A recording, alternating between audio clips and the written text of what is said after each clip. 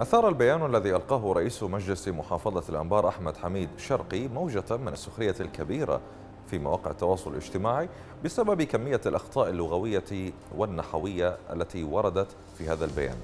رواد مواقع التواصل تساءلوا هل من المعقول أن يكون المستوى العلمي لمن يمثل محافظة بحجم الأنبار بهذا السوء؟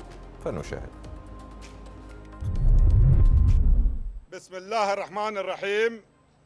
وإذا قيل لهم لا تفسدوا في الأرض قالوا إنما نحن مصلحون إلا أنهم هم المفسدون ولكن لا يشعرون. صدق الله العظيم.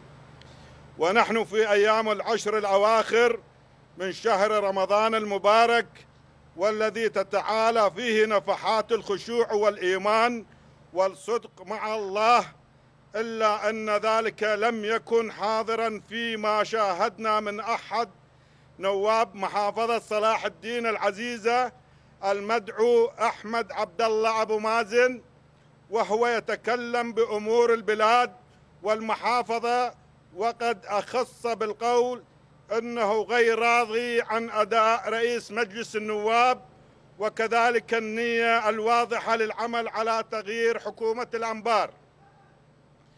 وبهذا الصدد أستذكر أستذكرنا قول النبي محمد صلى الله عليه وسلم في الحديث الشريف سيأتي على الناس سنوات خداعات يصدق فيها الكاذب ويكذب فيها الصادق ويؤتمن فيها الخائن ويخون فيها الأمين وينطق فيها الرويضة الرويبضة.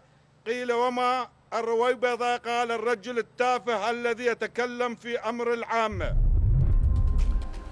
رئيس مجلس محافظة الأنبار برر الأخطاء التي حصلت عند قراءة البيان الذي أثار موجة من السخرية على مواقع التواصل الاجتماعي وقال إنه لا يملك فصاحة الخطابة لكنه يملك تاريخا مشرفا في قتال الإرهاب.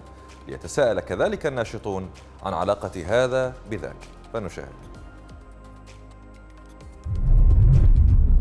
إخوان أنا ما عندي فصاحة خطاب ولكن عندي شغلة إني أنا مقاتل قاتلت الإرهاب منذ بدايته في 2004 ويشهد به عدوي قبل صديقي وليتعدى على محافظتي وأبناء محافظتي أكسر إيده.